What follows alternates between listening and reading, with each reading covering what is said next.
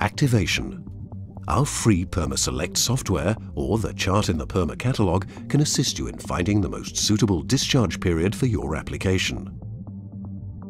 Select the desired discharge period by turning the rotary switch with a coin or a similar device. The discharge period can be selected in monthly steps from 1 to 12 months and can be changed at any time. Write the activation and the expected replacement date into the intended field on the lubricator label before installation.